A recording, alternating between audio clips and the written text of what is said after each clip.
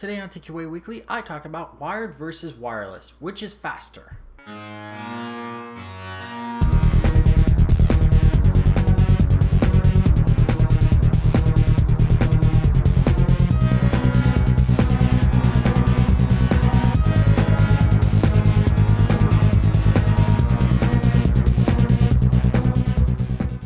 This is TQA Weekly. I'm the host, Steve Smith, aka Zed Axis. If ever you have any questions, comments, suggestions, and or stories, just go and email me at ask at tqaweekly.com. Go to my website, tqaweekly.com, and use the contact form. Or if you're on a website watching this video right now, use the comments box on this page. And of course, this episode of TQA Weekly is brought to you by ProXPN. And ProXPN is a virtual private network that allows you to use the internet the way it should be, anonymously and without oversight. For your 20% off your brand new ProXPN account, go to proxpn.com slash podcast and use the coupon code TQAWEE. So, for the majority of us, we have wired and wireless hybrid networks allowing us to use our tablets and laptops and cell phones, PlayStations, Xboxes, Apple TVs, Roku's, and a whole bunch of other crazy stuff in both wired and wireless paradigms, basically allowing us to connect to the internet any way we want, anywhere we want in the house. But which one is faster? And why? That's actually the question that is more important. It's not enough to explain why, uh, which is faster.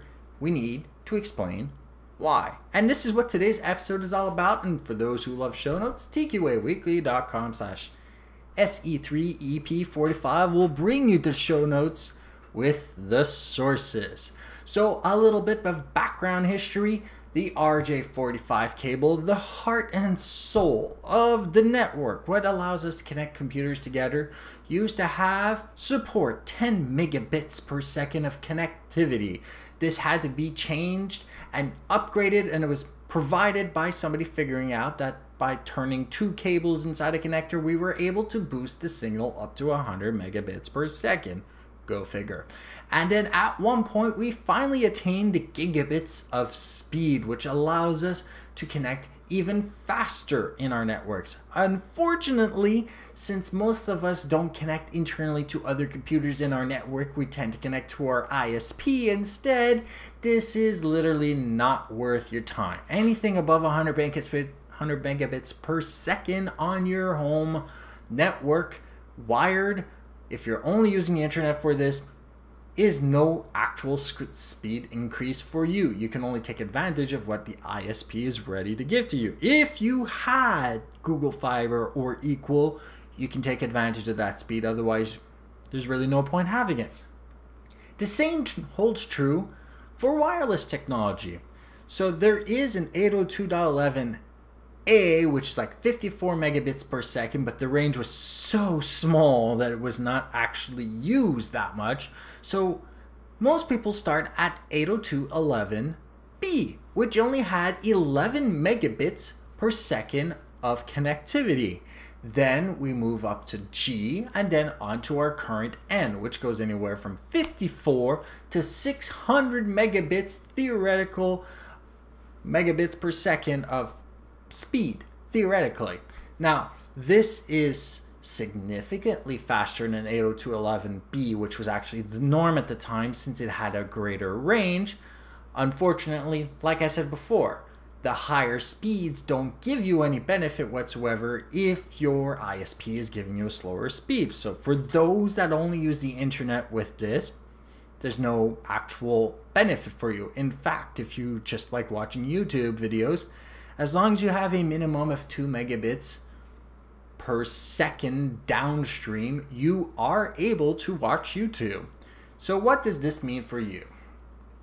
Well, like I just said, if all you're interested in is YouTube videos and you don't connect inside your network, this means jack diddly squat to you.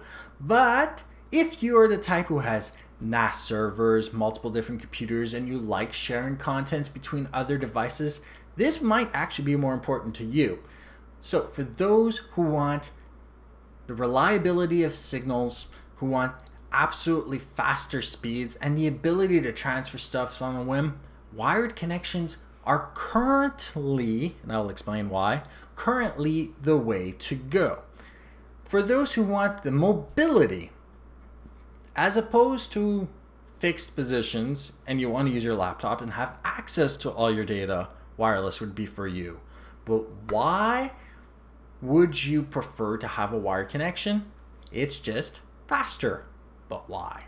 So for those who want faster speeds and want to know why it's faster, the RJ45 cable combined with a wired network takes advantage of something known as full duplexing.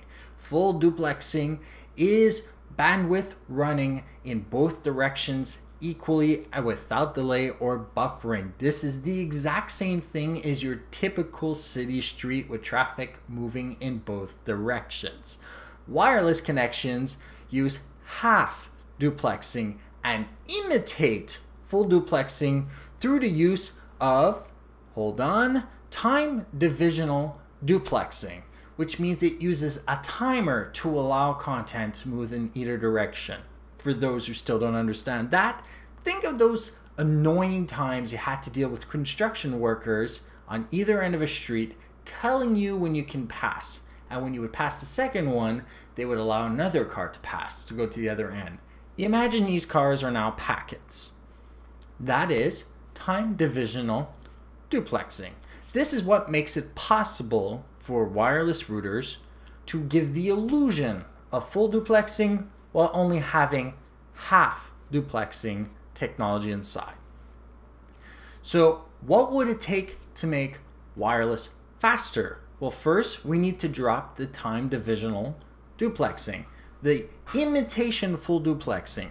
We also need to make the signals different, and by different, I mean use a different spectrum, make sure that the channels do not overlap, and we also need to take advantage of either full duplexing in the antenna arrays, which probably not going to happen, or we take a page out of the cell phone and use two different antennas, one to send and one to receive. This imitates full duplexing by having two half duplexing signals, but that only run in one direction. This is what makes all of these higher end radios work and make it possible to have instantaneous conversations between other sets of people. That is what it would take to make our internet a lot faster. Another fact that you may want to know wired networks can actually be slowed down by the wireless radio. So, for those who want to maximize on their speeds, if you do not have wireless technology in your network, turn the radio off. That will actually speed you up. Next week, I'll be talking about network address translation and how it applies to your network and why it keeps all the bad guys out. Now let's talk about the advertiser on this show, ProXPN. More now more than ever, your online freedom and privacy are under threat. Governments and ISPs want to control what you can or cannot see while keeping a record of everything you do. Plus, that free Wi Fi at the coffee house or airport terminal is seriously putting you at risk. Your passwords and other sensitive data are being intercepted by anybody who absolutely wants it, and you just don't want any of this. And of course, we've got the NSA, the FBI, and other governments around the world sniffing your traffic, recording everything you're doing on the internet, and we want none of this. ProXPN is a global VPN that works with almost any internet connection, creates a secure, encrypted tunnel to which all your online data passes back and forth, any online application can work with ProXPN, including your web browser, email, file sharing, and instant messaging programs. ProXPN keeps everything you do online hidden from prying eyes, disguising your physical location and giving you unfeathered access to any website or online service, no matter where you live or travel to. Complete online privacy with a 2048 bit encryption key and 512 bit encryption tunnel works with OpenVPN or PPTP you choose. Protect yourself against your country's six strikes law and bypass internet filtering, blocked websites, and geographical restrictions for internet content and online video with worldwide servers available in the US, UK, Asia, and more. ProXPN software for Windows and Mac offer advanced controls allowing you to select the programs and ports you want to anonymously route through. ProXPN also works with your iOS, Android, Blackberry, or Windows Mobile phone, allowing you to use your data plan or public corporate Wi Fi with complete and total privacy on a go, no app required, and you have an amazing 24 7 customer support. So remember my show when you go to sign up. Go to proxpn.com slash podcast for more information and sign up. TQA Weekly watchers and listeners also get a free 30-day risk-free trial just for using our promo code. And of course, ProXPN premium accounts are normally $9.95 a month or $74.95 for the entire year. You've got a special offer with using the code TQAWEE gives you 20% off the lifetime of your account. Just for being one of my subscribers, you get 20% off for the lifetime of your account. Have a great day. Thank you for watching, and bye bye. Thank you for listening to TQA Weekly. Show your support by liking this episode, subscribe to get our latest episodes as they come out, and share with friends and family who may benefit from such a show as this. You may send us your questions, comments, suggestions, and or stories to ask at tqaweekly.com. For our show notes, links to our Android application, alternate means of subscribing to our show, and information on joining our weekly newsletter, head over to tqaweekly.com. Stay safe and online, and have a great day.